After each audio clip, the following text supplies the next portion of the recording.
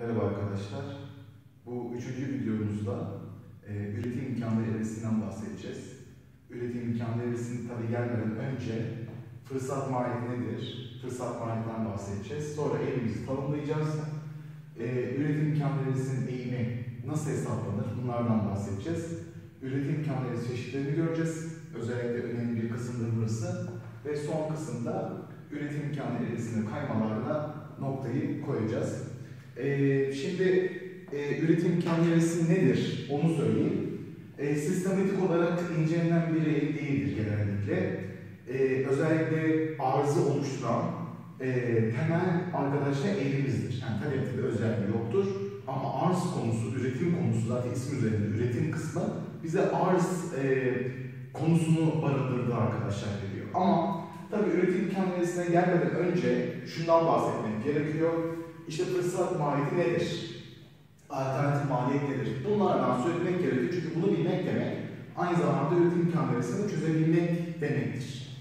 Şimdi arkadaşlar fırsat maliyeti, alternatif maliyet, vazgeçme maliyeti. Bunların üçü de aynı, aynı kavramlar. Peki ne demektir fırsat maliyeti, alternatif maliyeti ve vazgeçme maliyeti? Temelinde bir kere kıtlık var. Kıtlık ne demek? Yani bir şey kıt, sayısı az. Yani aynı anda ikisini de olduramıyoruz, yapamıyoruz. Bu kıtlık bize arkadaşlar bunu aslında anlatıyor.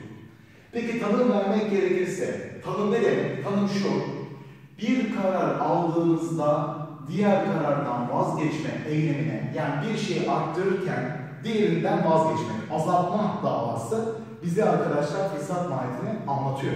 Mesela örnek vermek gerekirse normal hayatta e, gün 24 saat arttıramıyoruz. Kıt yani. Bu, burada bu sefer kıt olan şey zaman. Ya pikniğe gitmek istiyoruz ya da konsere gitmek istiyoruz. E konsere gitmeyi tercih ettiğiniz zaman pikniğe gitmekten vazgeçersiniz.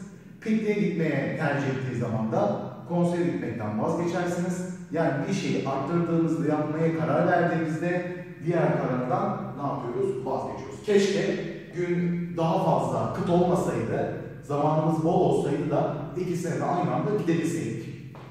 Peki hocam iktisatta bu nasıl? İktisatta da biliyorsunuz üretim faktörlerimiz var. Girdi olarak adlandırdığımız. Nedir bunlar? Emek, sermaye, doğal kaynak, girişimcilik bunlar kaynaklarımız. Bunların sayısı maalesef kıt. Kıt olduğu için bir tane malı üretimini arttırdığında maalesef kaynakları oraya kullandığım için diğer malın üretiminden ne yapıyorum arkadaşlar? Vazgeçiyorum. İşte dolayısıyla fırsat maliyeti iktisatlık bu şekilde kullanılıyor. Peki hocam her şeyde fırsat maliyeti aranır mı? Her şeyde fırsat maliyeti aranmaz. Bunun da arkadaşlar çok güzel bir örneği zorunlu olaylar bir kavramın fırsat maliyeti olamaz. Mesela zorunlu ihtiyaçlar dediğimiz nefes almak, yemek yemek gibi. Mesela e, bir takımı ne kadar severseniz sevin, işte maçı, maçına gidebilmek için yemek yemekten vazgeçtim gibi bir fırsat maliyeti olabilir mi? Olmaz. Ya da atıyorum işte ben Ahmet Hoca'nın iktisat videolarını izlemek için yemedim, içmedim, nefes almadım gibisinden bir fırsat maliyeti olamaz. E, dolayısıyla zorunlu şeyler bir şeyin fırsat maliyeti olamayacağını da söylemek gerekiyor. Neden önemli bu? Çünkü KPSS 2003 tarihinde buradan bir soru sordu. Peki soru nasıldı? Soru şöyleydi. Aşağıdakilerden hangisi üniversiteye gitmenin üniversiteye gitmenin fırsat maliyeti olamaz? Yani üniversiteye gittiğiniz zaman nelerden vazgeçiyorsunuz? Bunlar fırsat maliyeti olmayanı size soruyor.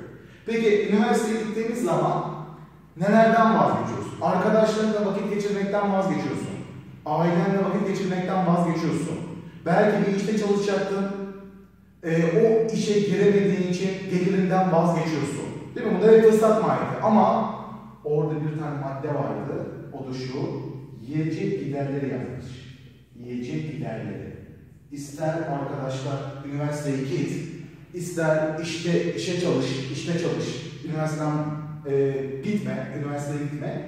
Üniversiteye gitsen de gitmesen de yiyecek giderleri arkadaşlar bir olayın fırsat maliyeti teşkil etmiyor. Dolayısıyla 2003 tarihinde çıktığı için de eski olsa da soru yine önemli. Gerçi şıkları biraz şaibeliydi. İşte şöyle şıklar vardı. Üniversiteye gidilerek yapılacak harcama, ondan sonra kırtasiye giderleri vardı yanlış hatırlamıyorsam. İşte harç ödemeleri falan diyordu. Biraz böyle şaibeli ama nokta atış yani en net kavram burada zorunlu olayların fırsat maliyeti olamayacağı şeklindeydi. Bunu da unutmamak gerekiyor. Peki şimdi fırsat maliyeti akılda dönüyor. Bunu unutmuyoruz bakın çok önemli bu. Bunun çalıştırıcısı. Peki fırsat maliyeti akılda dönerken hemen gariban eğri dediğimiz, gariban diyorum çünkü tek başına böyle silsile şeklinde devam etmiyor bakın. Üretim imkanları eğrisi ne geldik? Peki nedir hocam üretim imkanları eğrisi? Bunun bir sürü ismi var. Üretim imkanları eğrisi, üretim olanakları eğrisi, başka transformasyon eğrisi, özellikle İngilizce kavramlarda arkadaşlar, transformasyon, kör denir. E, Türkçe'ye çevrilmiş hali, transformatörden gelsin, dönüşüm eğrisi. Yani bir eğrinin bir sürü ismini anlamakta ya da kavramakta fayda vardır. Çünkü önümüze çıkabilir. Evet, üç tane isim var burada. Peki nedir bu? Tanımı veriyorum arkadaşlar, dikkat. Mevcut kaynaklar. Yani Türkiye'nin şu an içinde bulunduğu kaynaklar. Yani bu ne? Emek, sermaye, doğal kaynak, girişimcilik. Ve teknoloji sabitken. Yani kaynaklarımız ve teknolojinin sayısı artmazken, azalmazken, belli bir seviyedeyken, üretilebilecek, zaten şaşırmadı üretim, maksimum en yüksek iki mal miktarını gösterir. Tanım bu. Şimdi bu tanım neden önemli? Yanlış olmasın, KPSS 2016'da arkadaşlar tanımı sordu. Dedi ki mevcut kaynaklar ve teknoloji sabitken üretilecek maksimum iki mal miktarını veren eğri hangisidir? İşte eş ürün vardı, farksızlık vardı, üretim eğrisi vardı. Doğru cevap üretim eğrisi. Yalnız tanımı anlamak eğriyi çözmek demek. Bakın şimdi konuşalım tanımla ilgili. Bir kere dipten başlayalım. İki mal miktarını gösterir diyor. Vallahi eksenlere bakıyorum. Zaten iki tane eksen var. Apsis, ordinat, üçüncü bir mal miktarı olamaz. Aslında analiz burada biraz sahteleşiyor. Çünkü aynı anda biz bir sürü mal üretiyoruz. Yatay eksende tankı görüyorsunuz, sayıları, üretim sayıları. Çünkü üretilecek diyor. Dikey eksende de otomobil sayılarını görüyorsunuz. Bu kadar. Peki ben bu iki malı, iki malı nasıl üretiyorum? Maksimum en yüksek seviyede üretiyorsun. Peki ben bu malları üretirken teknoloji ve kaynaklarımız arkadaşlar sabit. Demek ki şunu anlıyorum. Üretim imkanı eğrisinde kısıtlar var. Birinci kısıt kaynakları, kaynakların sabit olması, üretim faktörlerinin yani. İkincisi de teknolojinin sabit olması. İki tane ne var? Kıstas var. Mesela çok güzel bir soru geldi aklıma.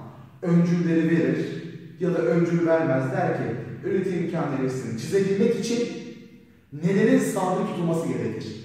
Ya da kısıtlar nelerdir üretim imkanı eğrisini çizmekte? Bir, teknoloji sabit olacak. Diğeri de kaynaklarımız sabit olacak. Peki hocam o zaman grafiğe inelim. Grafikte bir bakalım. Dikey eksende otomobil var. Yatay eksende tank üretim sayıları var. Bakın kafamızdan uydurmayalım. İthalat yok, ihracat yok, talep yok, fiyat yok, faiz yok, döviz kuru yok. Üretim sayısı. Ben bunu bir tane ürettim. Bu. Peki hocam şuradan başlayıp, evden başlayıp şöyle aşağı K, A, B, D hattını takip eden eğrimiz işte üretim imkanları eğrisi. Çeyrek dairemiz yani. Aynı zamanda şurada sıfır sıfır noktası var biliyorsunuz. Eğrinin orijini demektir. Orijinden bakıldığı zaman neresini görüyoruz? İçini, orijine iç yüzey bir yapı olduğunu kavruyoruz. Peki şimdi başlayalım. Okuyalım bakın grafiği. Eğri üzerinde A noktasına geldim. A noktası üretim imkanlarının üzerindeki bir nokta mı? Evet. Peki A noktasında üretimi okuyorum. Geldim. 30 tane otomobil aynı anda 3 tane tank. Demek ki A noktasında 30'a 3 tane, 30 tane otomobil ve 3 tane tank üretilmiş. Aynı anda artı. Yani ya 30 otomobil ya 3 tane tank değil. Aynı anda kaynaklar buna müsaade etmiş. Peki A noktasına bakıyorum. A noktasında e, kaç tane bu malı üretebilmek için emek kullanılmış? 10. Peki sende Türkiye'de mevcut kaynaklar kaç taneydi? 10. Hepsini kullanmış mıyım? Evet.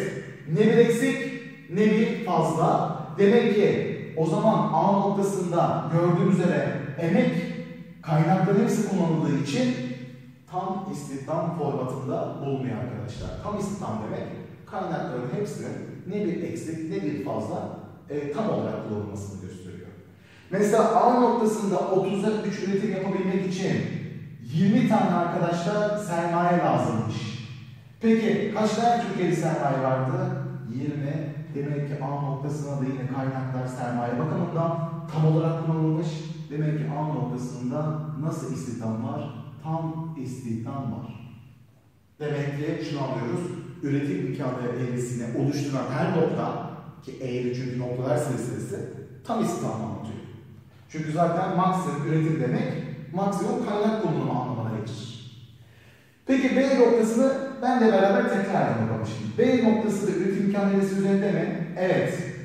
B noktasında 20 tane otomobile 4 tane tank üretilmiş mi? Evet.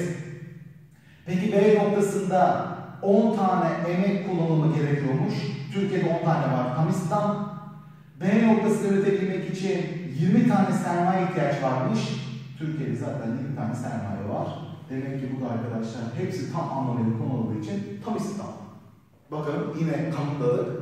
Eğri üzerindeki noktalarda tam istihdam var. Peki K noktasına bakıyoruz. K noktasında ise maksimum, bak maksimum K noktası da üretim imkanlarının başlangıcı. Bütün kaynaklarında sadece ne üretmişim? Otomobil. Peki hiç tank üretmiş miyim arkadaşlar? Hiç tank üretmemişim. Demek ki bu da arkadaşlar K noktasında da üretim var. Peki K noktasında da 10 tane sermaye vardı. Pardon. 10 tane emek kullanımı gerekiyormuş. 10 tane emek var zaten Türkiye'de. 20 tane sermaye kullanılması gerekiyormuş. Zaten Türkiye'de 20 tane sermaye var. Demek ki tam istihdam. Peki L'ye bakalım. L noktasında ise kaynaklarının tamamını bu sefer e, e, tank üretimine ayırmışım. Maksimum tank üretimi var. Hiç otomobil üretimi yok bakın görüyorsunuz. Demek ki buradan da yine 10, 10, 20, 20 yine tam istihdam var. Demek ki kısım listeye geldik, kısım listeye geldik. O da şu. Üretim imkanları eğrisi üzerinde her zaman nasıl istihdam vardır? Tam istihdam vardır. ÜİE üretim imkanları üzerinde tam istihdam var. Her zaman. Peki hocam eğri tanımladık güzel. Peki Z noktası ne anlatıyor? Şimdi Z noktası üretim imkanları eğrisinin dışında bir nokta mı? Evet. Peki Z noktasına baktığımız zaman çok daha fazla otomobil, çok daha fazla tankı gösteriyor mu? Evet. Bakın KAB'den çok daha fazla aynı anda otomobil ve tank üretildiğini anlatıyor. Yani Z noktası aslında iyi bir nokta. Keşke olsa. Ama Z noktasını üretebilmek için 100 tane emeğe ihtiyacım var.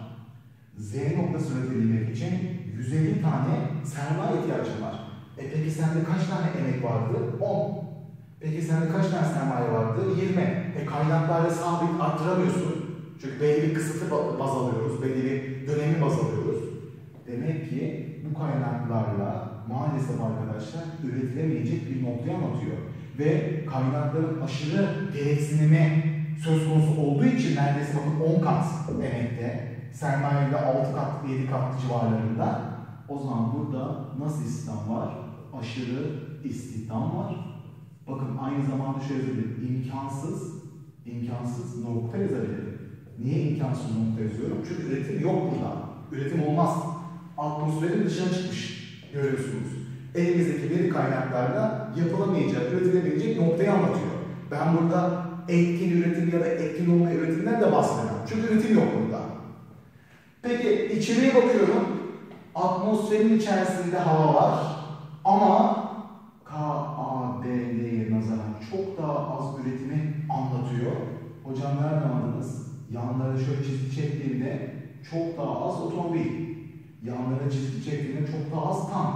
Ve evet T'de üretim var. Ama T'yi üretebilmek için 3 tane emek kullanmışım, 5 tane de sermaye kullanmışım. Ama Türkiye'de kaç tane emek var? 10. Peki 10 tane çalışanım vardı. T noktası üretebilmek için 3'ünü kullanıyorum. 7'si ne yapıyor? İşsiz. 20 tane makinem vardı. T noktası üretebilmek için 5 tane sermaye kullanımı gerekiyormuş. Peki 15 tane makine ne yapıyor? 15 tane makinenin üzerinde örtü var. Yani varken kullanmama durumunu anlatıyor. Peki bir şey varken kullanmıyorsan nasıl kullanıyorsun? Nasıl istihdam sahipliği var burada? Eksik istihdam yapısı var. Başka? Eksik istihdam, noksan istihdam. Değil mi? Hatta bazı kitaplar işsizlik. Hatta ve hatta şöyle, hatta hatta şöyle etkin, etkin olmayan üretim. Çünkü kaynaklar etkin kullanılmıyor. Peki etkin üretim nerededir diye sorarlarsa eğri üzerindeki her yerde ne vardır? Etkin üretim vardır arkadaşlar. Bunu da unutmamak gerekiyor. Mesela bölge soruları sorabilirler. Bölge soruları sorabilirler. Derler ki burada tank var, burada otomobil var. Bu anlattığım ilk bölümle ilgili. Grafiğimiz arkadaşlar. Şöyle üzeri söyler işte A noktası, B noktası, C noktası ve D noktası diye atarlar. Derler ki yukarıda üretim imkanı verisi görülmektedir. Sırasıyla A, B, C, D noktalarını istihdam yapılarına göre sınıflandırın. Hep beraber bakalım. Eğri üzerinde her zaman nasıl istihdam vardı? Tam istihdam vardı. Eğrinin dışındaki nokta imkansız noktayı anlatıyordu. Yani aşırı istihdam yapısını anlatıyor. Yani daha fazla kaynak ihtiyacım var. Peki eğrinin içindeki noktada üretim var ama etkin olmayan üretimi anlatıyordu. Neden? Çünkü kaynağım var ama onu iyi bir şekilde kullanamıyorum. Yani işsizlik olduğu yerde A noktası. İşsizlik, tam istihdam, aşırı istihdam şeklinde sınıflandırabiliriz. Şimdi hocam, tanımı yaptık. Grafiği okuduk. Bölgelerinden bahsettik. Bakın kademe kademe diyorum. Tanım, grafiği okuma, bölgeleri okuma, çıkacak soru yapısı bölgelerle ilgili. Peki devam edelim. Şimdi şuna gelelim. Grafiğin kendisine geliyoruz. Peki grafiğin kendisine geldiğinde A ve B noktaları hakkında konuşalım. Bakın A ve B noktaları hakkında konuşalım. A ve B noktasının ne gibi ortak özelliği var? İkisinde de eğri üzerinde olduğu için tam istihdam var. Peki bu ortak özellik dışında etkin üretim de vardır diyebilir miyim? Evet. Yalnız dikkat A ile B aynı noktalar değil. A'dan B'ye geçilince arkadaşlar bir şeyler oluyor sanki grafiğe. Bir bakalım neler oluyor. A'dan B'ye geçtiğinde bakın A'da 30'a 3 üretirken B'de 20'ye 4 üretiyor. Yani A'dan B'ye geçtiğimiz zaman bir şeyi arttırırken diğeri ne oluyor? Azalıyor. Bir dakika bu aklına bir şey getiriyor. Bir karar aldığımızda diğer karardan vazgeçmek. Bir şey üretmeye karar verdiğimizde diğer karardan vazgeçmek. Bir bakalım o zaman. A'dan B'ye geçtiğim zaman 3'ten 4'e tank sayısı ne oluyor arkadaşlar? Artıyor. Artı bir tank. Doğru değil mi? Peki bir birim tank üretebilmek için bir şey arttırdı, kaynakları oraya kaydırdı. Peki neyden vazgeçti? Koridordan bakalım. A'dan B'ye 11'i otomobilden vazgeçti. Demek ki arkadaşlar ben şunu anlıyorum. Bir tane tank üretebilmek için 10 tane otomobilden vazgeçiyorum. İşte aslında bu bize fırsat yapısını vermiyor mu? Fırsat maliyeti yapısını. Evet, bir tank üretebilmek için 10 tane otomobilden vazgeçtik. İşte bu. Görüyorsunuz A'dan B'ye bu olay var. Şimdi arkadaşlar bu olay aslında iktisatta biraz daha böyle kavramları karıştırarak veriliyor iktisatta. Karıştırarak değil de bu iktisadın kendi dili diyelim. Dilini öğrenmek gerekiyor. Mesela ben şöyle bir şey yaptığım zaman bakın şuraya bir açı çizdiğimde bakın tam şuraya bir açı çizdiğimde yani doğrunun eğrinin yeryüzü yapmış olduğu açıyı çizdiğimde alfayı koyduğumda tanjant alfa karşı bölü komşu değil miydi? Peki onun karşısına baktığımız zaman şuradaki mesafe şuradaki mesafeyi teşkil etmiyor mu? 11'in karşısı 10. Peki komşusuna bakıyorum. Komşusu da şuradaki mesafe, şuradaki mesafe 1, 11'i birden 10 çıkıyor. Bir de açı sola bakıyor. Açı sola baktığı için negatif eğimde. Eğim eksi olacak, eksi 10. Nedir bu bulduğun rakam? İşte buna biz üretim imkanları eğrisinin eğimi diyoruz arkadaşlar. Peki ben size önceki videomda, bir ve iki numaralı videoda özellikle e, iki de anlattım bunu. Dedim ki eğim ne demektir? Eğim arkadaşlar türev almak demektir. Peki eğim aynı zamanda marjinal demektir. Peki o zaman hemen bir tanım verelim. Üretim imkanları eğrisinin eğimine ne ad verilir? Arkadaşlar MRT'dir. MRT. Ne demek bunun açılımı? Marginal Rate of transfor, e, Transformasyon. Yani transformasyonun marjine oranı. Tabii bu İngilizce kavramların başlangıcı arkadaşlar. Türkçe Zeynel'in bazı kitaplarında MDO olarak geçiyor marjinal dönüşüm oranı. Ama bu biraz da uluslararası bir kavramla tutulması gerekiyor. MRT demek gerekiyor arkadaşlar. Burada ben kısa yolu göstereyim. Eğim dendiği zaman akla marjinal gelecek. Bakın buraya yazıyorum. Sana soruda eğimle ilgili tanım sorusu soruldu. Bunun gibi mesela. Eğimi görünce marjin arkadaşlar bir kere oradan gidiyorsun. Peki üretim imkanları eğrisinin diğerisi neydi? Üretim imkanları eğrisinin diğerisi dönüşümdü. Dönüşüm aşağıya marjinal dönüşüm oldu.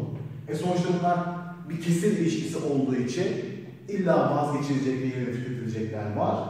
O zaman olay marjinal dönüşüm oranı oldu. Aslında kendi tanımı bize kendi ifadesi ismini veriyor. MRT buradan geliyor. Peki hocam e, marjinal dönüşüm oranı MRT nedir formülü? Çok basit. Bir kesir çizgisi pay ve pay ilişkisi vazgeçilen üretimi üste yaz, yerine üretimi de aşağı yaz.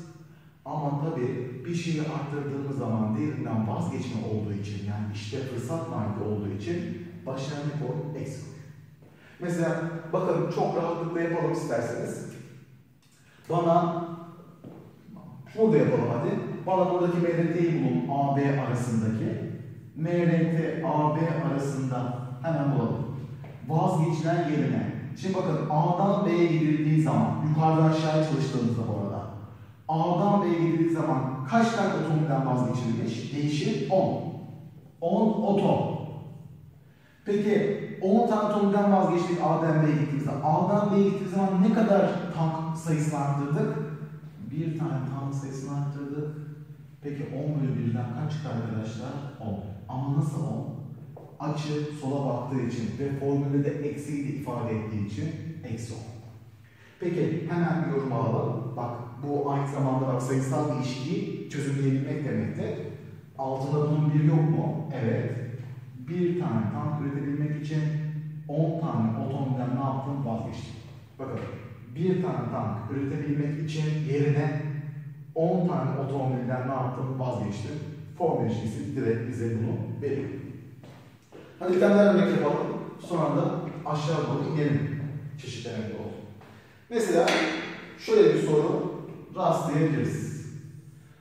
Burada hastane olsun, burada okul olsun, standart. Bazen tereyağı, bilgisayar falan diyorlar. O, öyle örnekler de var. Grafiği çizdik, güzel.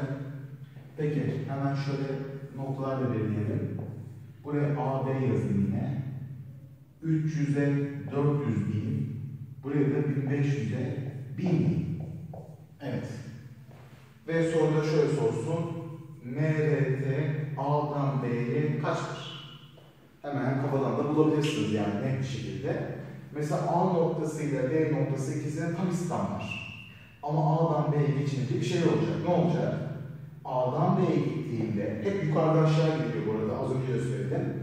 A'dan B'ye gittiğinde hastane sayısı azalıyor. Kaç yüz birim azalıyor? 1500 eksi 500. 500 tane hastaneden vazgeçtim. Peki, vazgeçtim, koridoru takip et. Kaç tane okul ürettim? Çünkü oradaki kaynakları okul üretimine kaydediyor. O kaynaklarımız, emek, sermaye, doğal kaynakları şimdilik. Bu da 100 tane okul. Peki 500 100'e böldüğümüz zaman kaç yaptı? 5. Ama eksi koymayı unutma. Eksi konulması gerekiyor. Neden? Çünkü negatif eğri bir eğri arkadaşlar. Burada bir uyarı yapayım. MRT hiçbir zaman pozitif çıkmaz. MRT her zaman eksi çıkar. Çünkü illa bir şey arttırdığında diğerinden vazgeçeceksin. Hadi okuyalım, okuyalım. Altıda bir yok mu? Evet. Bir tane okul üretebilmek için yerine beş tane hastaneden, beş tane hastaneden ne yaptım? Vazgeçtim. Demek ki beşe bir oran varmış burada arkadaşlar. Fırsat market yapısını bize anlatıyor. Peki, şimdi kaldığı iki konumuz önemli konular bunlar. Peki nedir hocam bu konular? Üretim imkanları eğrisinin çeşitlerine arkadaşlar bakmak gerekecek. Sonra da üretim imkanları eğrisini kaymalar deyip noktayı koyacağız. Şimdi üretim imkanları eğrisi çeşitlerine baktığımız zaman grafiklerin üç tane tipi var. Bunun sizden üçünün de ortak özelliğini istiyorum. Nedir bunlara baktığınız zaman ne görüyorsunuz ortak? Negatif eğimli, negatif eğimli, negatif eğimli. Açı sola bakıyor, yeryüzü yaptığı açı sola bakıyor, yeryüzü yapmış olduğu açı sola bakıyor. Çünkü üretim imkanlarında her zaman içinde ne taşır arkadaşlar? Fırsat mark taşır. Çünkü kaynaklar kıttır. Bir şey arttırdığımız zaman diğerinden ne yapmak lazım? Vazgeçmemiz gerekiyor. Doğru değil mi? Dolayısıyla negatif eğim ama tiplerine bakıldığı zaman tipleri farklı. O zaman burada neler farklanacak biliyor musun? MRT'nin yukarıdan aşağıya formatı değişecek artarak artan formatlar, pardon artarak azalan formatlar, sabit oranlı formatlar. Mesela burada azalarak azalan formatlar bize MRT'nin eğimin de ölçeğini anlatacak. Şimdi bakın tek tek bunlarla ilgili bilmemiz gerekenleri yazıyorum. Başlıyorum. Bir, tanım. Bu eğri ne eğrisi üretim imkanı Nasıl? Arkadaşlar buradan baktığımız zaman nesini gördük? İçini gördük. Bunun ismi orijine, iç bükey, bir ne, bir üretim imkanlarımız. Peki hocam, yukarıdan aşağıya gittiğimiz zaman ne değişiyor? Arkadaşlar hemen eğime bakalım. Yukarıdan aşağıya bakmam mümkünse bir yeryüzü çiziyorum. Peki yeryüzü çizdiğimde hep o yeryüzünün açısı yukarıdan aşağıya ne oluyor arkadaşlar baktığımız zaman? Bakın 10 dereceyken 20 derece oluyor. 20 dereceyken 30, 30, 40, 40, 50 açı buluyor. Eğim artan eğim artan, artıyor. Daha hızlı bir şekilde top düşüyor. İç bükeyde kuyudur. Peki üretim imkanları eğisin eğime ne demiştik? MRT. E, eğim artıyorsa bu grafikte MRT artan. Eğimle MRT aynı şey. Eğim demek marjinal demektir. Peki üretim imkanları aynı bize ne anlatıyordu? Fırsat maliyetine. Peki fırsat maliyeti de maliyeti de MRT zaten bir şey arttırdığımız zaman diğerinden vazgeçmek iyi miydi? E, fırsat maliyeti o da arttı. Evet. Şimdi bir şeyi görmüş olmanız gerekiyor. Eğim demek MRT demektir. MRT demek fırsat maliyeti demektir. Üçü arkadaşlar aynı şeyi beraber hareket ederler. Yani birbirinden bir farkı yoktur. Peki hocam bunu bana anlatın bakalım. Bu artan olması ne oluyor? Bak şimdi artı olmasının özellikleri şunlar. Burada MRT'yi hesapladık 5 çıktı. Burada MRT'yi hesapladık 10 çıktı. Burada MRT'yi hesapladık 15 çıktı. Burada MRT'yi hesapladık 20 çıktı. Ne demek bu? Yukarıdan aşağıya MRT artıyor. Niye anlatıyor? Bir tane tank üretmek için 5 tane okuldan vazgeçti. Pardon, otomobilden vazgeçti. Bir tane tank üretebilmek için 10 tane otomobilden vazgeçti. Bir tane tank üretmek için 15 tane otomobilden vazgeçtim. Bir tane tank üretmek için 20 tane otomobilden vazgeçtim. Yani tank üretebilmek için hep artı bir üretiyorum. Ama karşısında her defasında daha fazla otomobilden fedakarlık ediyorum. Yani tank üretmek yukarıdan aşağıya doğru ne oluyor arkadaşlar? Zorlaşıyor. Demek ki ben tank üretimine karar verdiğimde otomobildeki insanları çekip tanka aktardığımda orada verimsiz çalışıyorlar. Maliyetlerimi arttırıyorlar. Tabii bu verimsiz çalışmada dolayısıyla maliyetleri arttıran bir unsur ne yapacaktır? Yaratacaktır. Bakın şöyle söyleyelim. Maliyetlerle verimlilik her zaman ters çalışır. Bir adamı alırsan verimlidir. Maliyetler onun gözüne, gözüne dokunmaz. Ama bir adam alırsın iş yerine verimsizdir. Dersin ki bu adama bu kadar para ödüyoruz yazıklar olsun. Yani verimsiz adamın maliyetleri daha yüksektir, verimli adamın maliyetleri daha düşüktür. Demek ki şöyle çalışıyor, ters çalışıyor. O zaman maliyetler artansa verimlilik nasıl arkadaşlar? Bu da azalan verimlilik yapısı var. Demek ki ben otomobilden tanka kaynakları aktardığımda maalesef tanka bunlar yaramıyor ve verimlilik her defasında azalıyor. Evet, yapılar bunlar. Gel yan tarafa. Böyle bir eğri gördüğümüz zaman bunun ismi ne? Bunun ismi negatif doğrusal. Negatif doğrusal. Evet. Doğrusal, bükümlü olmaması demek. Açı sola baktığı için negatif doğrusal. Kalep gibi yani. Benziyoruz. Peki eğim nasıl? Doğrusallar hep monotoniktir. Monotonik demek hep aynı eğime sahip olması demek. Bakın açılara baktığınız zaman açıların yukarıdan aşağıya hiçbir şekilde değişmediğini görüyorsunuz. O zaman eğim, eğim sabit. Eğim sabit. Hep aynı.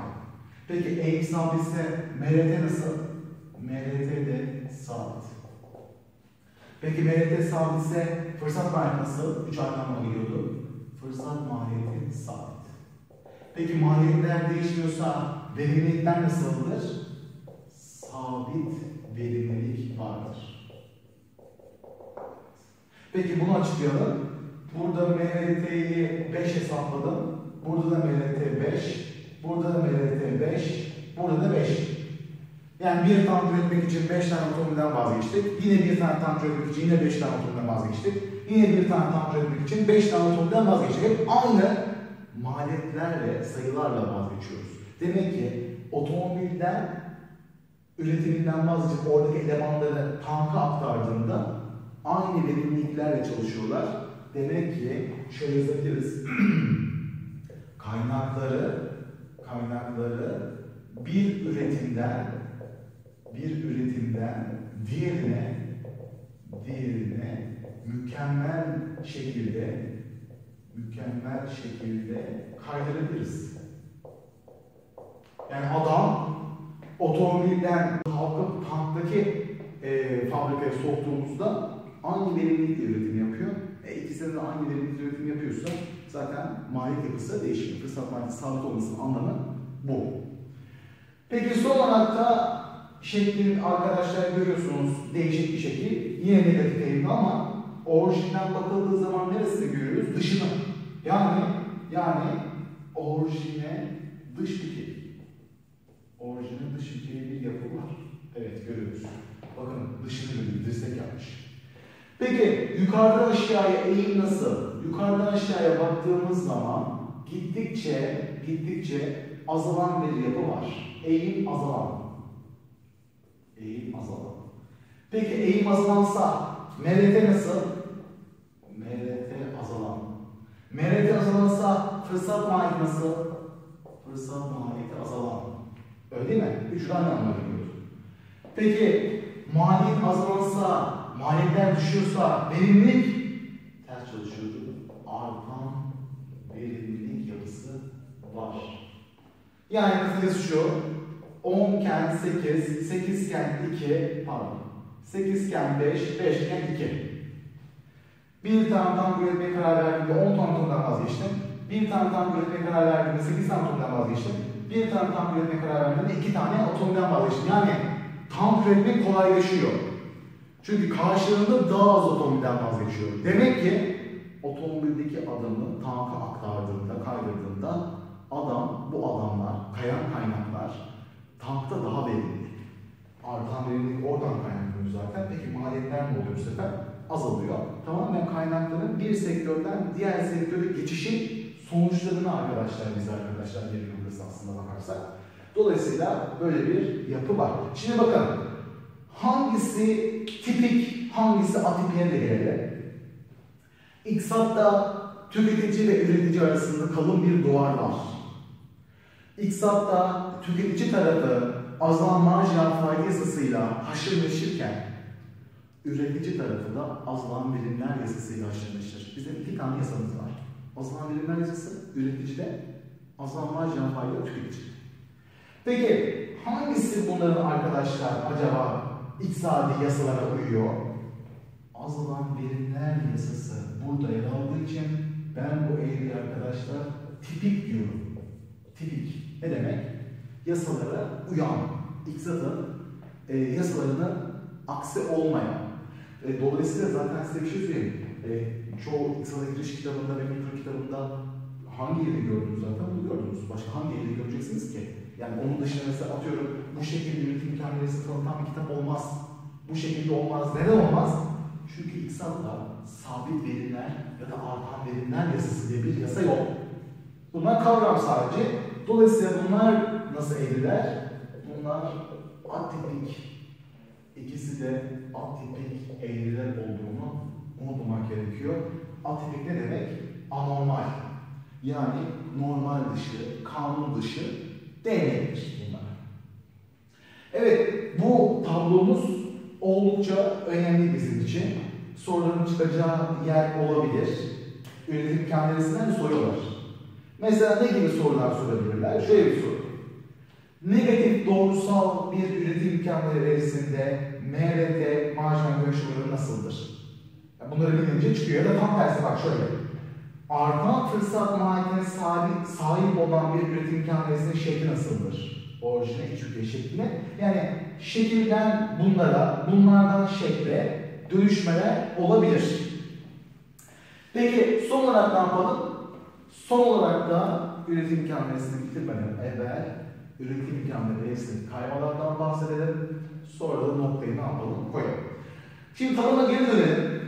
Tanımda üretim imkan anlatırken iki tane kısıt vardı demiştim. Yani sen bunu çözebilmek için iki tane kısıta sahip olman gerekiyor. Nedir o kısıtlar? Bir, kaynaklar sabit olmalı. İki, teknoloji sabit olmalı demiştik. Peki hocam kaynaklar ve teknoloji sabit olmazsa, bir anda artarsa, bir anda azalırsa, öyle mi? Yani zaman içerisinde değişebilir. Ne oluyor? O zaman üretim imkanları eğrisi böyle yerinde kalmaz. Ne olur arkadaşlar? O da duruma göre, o değişimin cinsine göre kaybını bulur. Bakın burada paralel bir sağa doğru kayış var, burada paralel sola doğru kayış var. O zaman ne olmuştur? Şimdi eğri paralel bir şekilde telgraf telleri gibi sağa doğru kayıyorsa buna iktisatta biz ekonomik büyüme deriz. Nedenlerini yazacağım, neler yol açabilir bunları tartışacağız. Paralel bir şekilde orijine doğru kayıyorsa ok yönünde gördüğünüz üzere niye telgraf telleri varsa buna da ekonomik, ekonomik küçülme ya da daralma diyebiliriz. Peki hocam neler buna yol açar ekonomik büyümeye? Emek, emek azalırsa, sermaye azalırsa, bir anda pardon emek artarsa, emek artarsa, sermaye artarsa, öyle değil mi? Peki doğal kaynak artarsa, teknoloji artarsa, girişimcilik girişimcilik artarsa bunlar ekonomik büyüme anlamına gelir ve eğilimiz arkadaşlar nereye doğru kaynayacaktır? Sağ. Çünkü kaynakların artması demek eski kaynaklara nazaran daha fazla üretimi yapıldığını bize arkadaşlar ne yapar? ifade eder. Peki ekonomik daralma için yani şunların sabitine bakın kaldırdığım zaman ne oluyor? Emek azalırsa, sermaye azalırsa, doğal kaynak azalırsa, teknoloji düşüşte şeyse, girişimcilik, girişimcilik azalıyorsa, savaş tehlikesi varsa, barış ortamı yoksa, değil mi? Olumsuz koşullar varsa bunlar üretim imkanlarısını sola doğru kaydıran nedenler oluyor. Yani bu kısıtlara dikkat etmek gerekiyor arkadaşlar. Evet, üretim imkanlarısı hakkında söyleyeceklerimiz bunlar. Her yerinden soru gelir. Bakın KPSS'de buradan gelmiş. Dikkat. Mesela eğimini sorabilirler. Şu üç tane grafik önemli. Bir de kaymalar önemli. Böyle bir video çekelim dedik. İnşallah faydalı olabilmişizdir. Ee, teşekkür ederiz arkadaşlar.